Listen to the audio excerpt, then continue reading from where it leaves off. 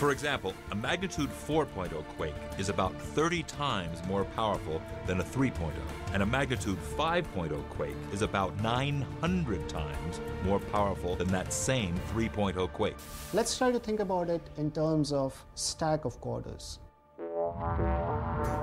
So let's say a magnitude 1 earthquake represents one quarter. A magnitude 2 corresponds to 31 quarters stacked on top of each other. A magnitude 3, that's about 1,000 quarters. 4, 31,000 quarters, that's about 175 feet.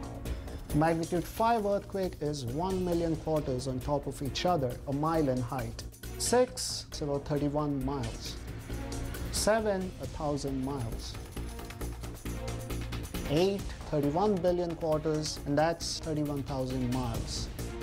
Magnitude 9, that's about a million miles. 10, 31 trillion quarters on top of each other, and that's 31 million miles. That's roughly the distance from here to Mars. If we look back at what Hiroshima, the atomic bomb, was, that would be equivalent to a magnitude 6 earthquake.